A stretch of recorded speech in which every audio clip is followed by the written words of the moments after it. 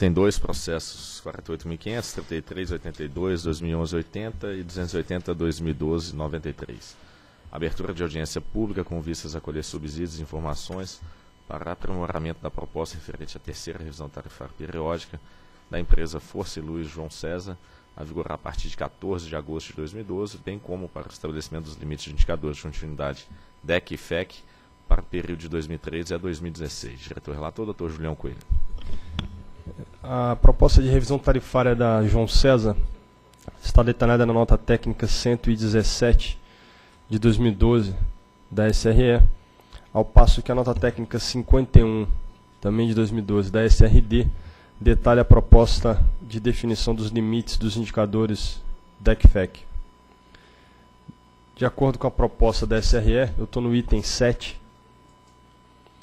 O reposicionamento tarifário da João César deve ser de menos 4,78 e o correspondente efeito médio percebido pelo consumidor de menos 8,11. Aí nós vamos à tabela a seguir, que detalha os diversos itens da receita requerida. É, Vale destacar que a parcela A tem uma variação negativa de 2,61%, em grande medida devido à redução de, dos custos com compra de energia. Há também uma redução dos encargos setoriais de 1,39%, mas a participação na receita não é significativa, é de apenas 9,78%. Reduz também os custos de transmissão, mas a redução é é pouco significativa, 0,09, mas a redução com, a, com o custo de compra de energia de 1,14, na verdade menos 1,14, leva uma participação na receita de 42,23. E aqui vale destacar que a João César tem apenas contratos bilaterais celebrados com a distribuidora Celesc, que é sua supridora. Em relação à parcela B, também houve variação negativa, com destaque para os custos operacionais, tiveram uma variação negativa de menos 0,51 e dada a participação na receita de 33,19, isso influenciou de forma significativa a redução nos custos de parcela B. O reposicionamento econômico, portanto, da tarifa seria de menos 4,78, com os componentes financeiros a serem recuperados no próximo ciclo de menos 2,17. O reposicionamento tarifário, já incluídos os financeiros, seria de menos 6,95 e com a retirada dos financeiros do IRT anterior de menos 1,16, chega seu efeito médio para o consumidor de menos 8,11 e distribuído na forma do quadro abaixo, com destaque para a maior redução no grupo A4 e a menor redução no grupo B3. Em relação ao fator X, o XPD foi calculado em 1,28 e a trajetória de custos operacionais refletida no X, o XT, não tem é, valor. É, foi zero, uma vez que os custos operacionais estão dentro da faixa de eficiência calculada pela SRE a partir do modelo de benchmarking. Aqui na parcela B, no item 12, o resumo do cálculo da parcela B. Vale destacar que não houve ajuste em função de investimentos realizados, dado que a João César realizou todos os investimentos a que se propôs quando do segundo ciclo de revisão tarifária. Eu passo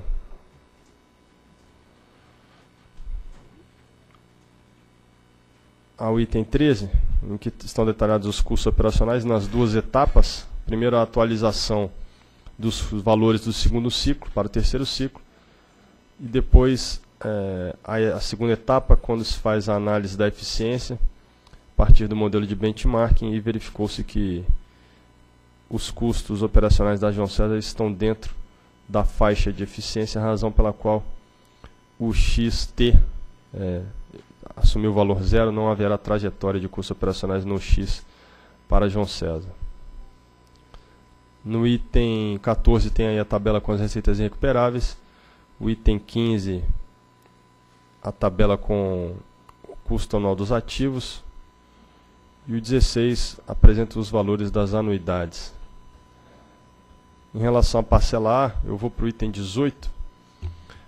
Em relação aos custos com aquisição de energia elétrica, tem aí apresentado está apresentada a despesa total e o valor da tarifa, onde se destaca que existem apenas contratos bilaterais com a Celesc. É, abaixo o custo com a transmissão, na sequência custo com encargos e tributos. Por último, outras receitas e receita, receita verificada. Passo para o item 23, é, que apresenta os componentes tarifários financeiros e há apenas é, três componentes. Você vai em processamento, valor positivo de R$ mil reais, a CVA, o saldo a compensar, menos R$ mil reais, neutralidade de encargos setoriais, deu menos 59 mil reais e o subsídio de baixa renda, menos 51 mil reais. Na verdade, quatro itens. Com isso, há uma, os componentes financeiros assumiram um valor negativo de menos 104 mil reais e 880.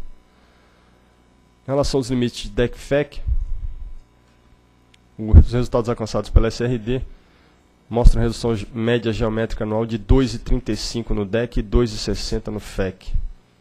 Isso está no item 25. Passo então à figura do item 27, em que, estão, em que é feito comparativo entre o DEC e FEC apurados desde 2006 e os limites propostos para o período 2013 e 2016 já com os ajustes, ajustes feitos pela SRD após a manifestação da João César. E aí as, as barras em azul refletem o deck apurado, as barras em vermelho o deck, o FEC, o FEC apurado. Depois ali a, aquela trajetória em vermelho é o, o FEC limite desse período já verificado e a trajetória em azul é o deck limite. Na segunda parte, ali à direita da tabela, está o deck proposto em azul e o FEC proposto em vermelho.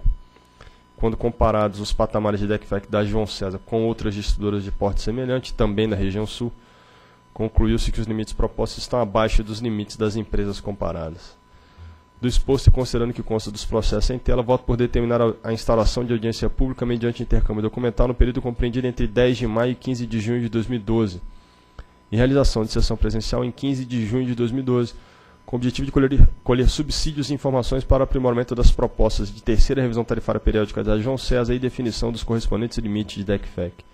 É o voto. Ok, em discussão.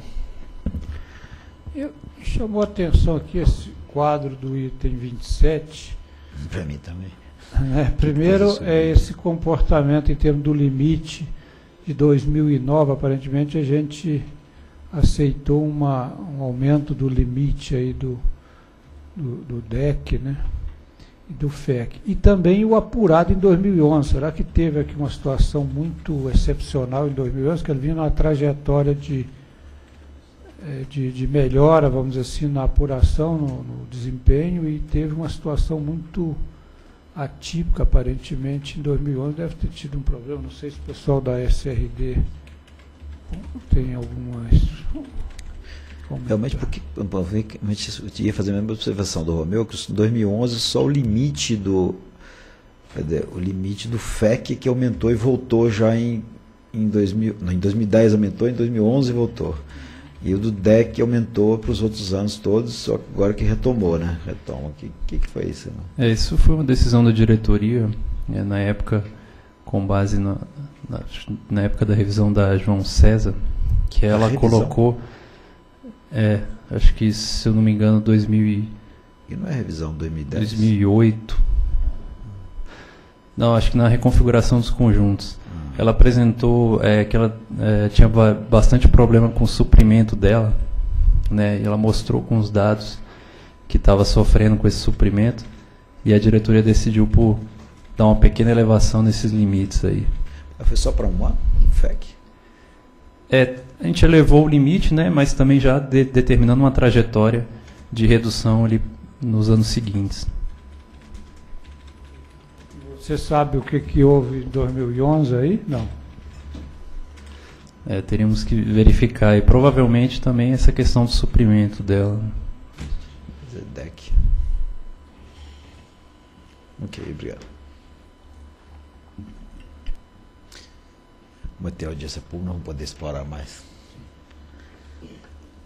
Ok? Tem votação?